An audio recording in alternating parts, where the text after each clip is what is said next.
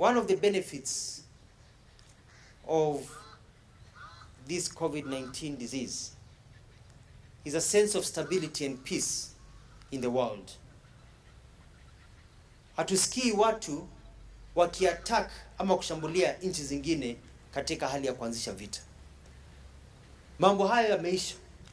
Watu wakifanya ugaidi. Terrorism basically imeisha.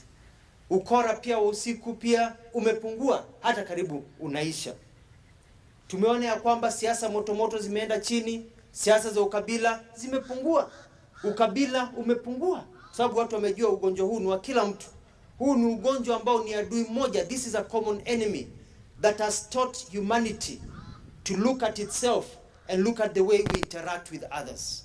We are all humans. And this is a plague that is reminding us we don't have to go out and kill others with bombs. That in the same way we can live in harmony and peace and watch over each other at times of COVID 19, we can do that even when the disease is not there. It is a big lesson to us.